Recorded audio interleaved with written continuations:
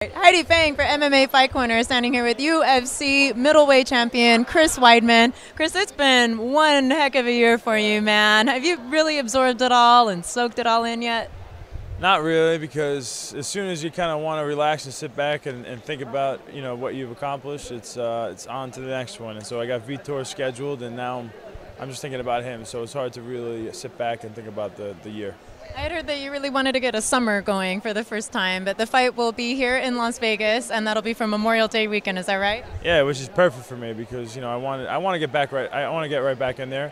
Uh, I want to fight before I'm 30 years old. I'm, i turned 30 in June, so let's try to get as many fights as I can under my belt until then.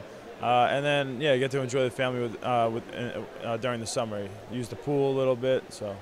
You got a couple awards that you're nominated for tonight. How honored are you to have those nominations? It's awesome, you know. Um, you know, last year I was nominated for Breakout Fighter of the Year and the winning.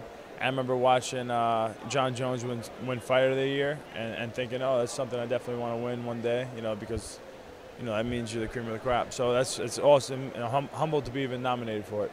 And last one, Vitor is here in the audience also. You guys uh, probably sitting on opposite sides, I guess. I have no idea. I'm not. I'm not. I don't like to. I, I hope. Hopefully, it's not anything weird going on between me and him during this during this uh, beautiful ceremony we have going on here today. But uh, I know we're actually taking pictures together tomorrow uh, for the UFC. We're doing a photo shoot, like you know, staring each other at, uh, you know, staring, having a stare down and all that stuff. So that's the first time I'm doing that before a fight. Um, I guess this far behind. I actually did with Mark Munoz once, but uh, I kind of knew him a little bit before I did it.